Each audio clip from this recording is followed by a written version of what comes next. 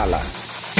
We don't believe on ourselves, but obviously a, a new generation has another responsibility to change this kind of paradigm to another level whereby we have to capitalize on our abilities in Africa.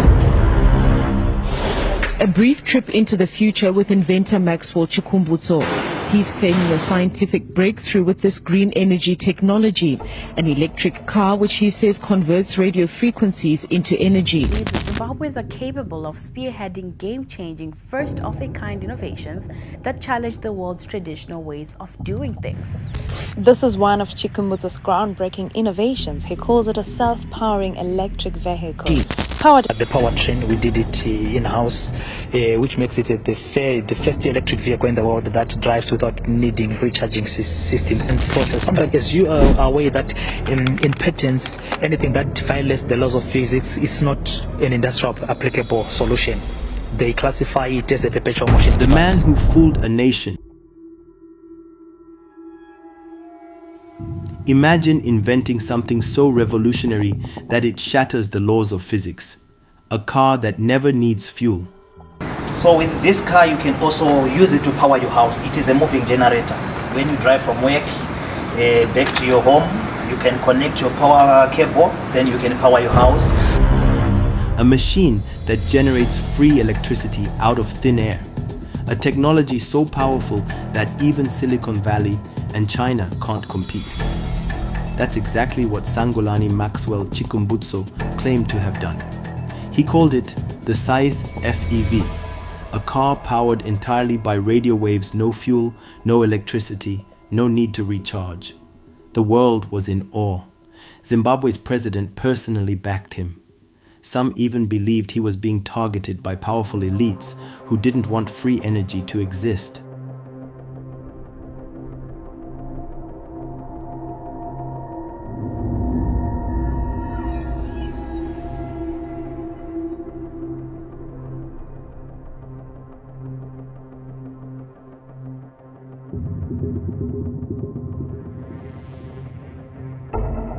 But there was just one problem.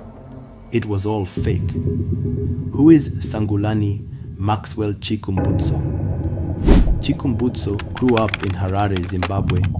He never went to college, never studied engineering, yet somehow he claimed to be an inventor with groundbreaking technologies. He founded a company called Saith Technologies, which supposedly built the Saith FEV, fuel-free electric vehicle a self-powering car running on radio waves. The Greener Generator, a device that generates infinite electricity without fuel. A hypersonic energy device, a mysterious machine that supposedly defies physics. And despite having zero patents, zero peer-reviewed studies, and zero real investors, Chikumbutso managed to convince Zimbabwe's government that he was a genius. But how did he pull it off? The fuel-free car hoax. In early 2025, a video went viral showing Chikumbutso demonstrating his fuel-free car to President Mnangagwa. The headlines were insane. Zimbabwe invents a car that never needs charging. Chikumbutso surpasses Tesla in Silicon Valley. African Genius creates the world's first free energy vehicle. People started believing that Zimbabwe could become the next global tech hub. But there was just one problem. Journalists started investigating. And what they found was shocking. Exposing the Lee Zimbabwean fact checkers reverse searched Chikumbutso's so-called invention and found that 1. The Saith FEV was actually a Kaiyi X3 Pro, a Chinese electric vehicle that runs on a lithium-ion battery. 2. The free energy device he showed off it was a $109 power bank sold on Amazon. 3. His so-called hypersonic generator, also from Amazon. Journalists like Hopewell Chinono, a Harvard fellow and award-winning Zimbabwean reporter, exposed Chikumbutso's fraud. But here's what's crazy. The Zimbabwean government still backed him. Why? Because they were desperate. Why did the government fall for it? Zimbabwe has suffered from fuel shortages, power outages, and economic collapse for years, a fuel-free car sounded like a dream come true. So, when Chikumbutso came along, claiming he had solved Zimbabwe's energy problems, the government wanted to believe him. And this isn't the first time corrupt politicians have fallen for tech scams. In 2017, Nigerian officials invested in a fake invisible car scam. In 2014, Kenya's government funded a non-existent nuclear energy project. In 2009, South African leaders were tricked into backing a fraudulent water-powered car. Chikumbutso played the system perfectly, tapping into national pride, government desperation, and people's love for a good conspiracy theory.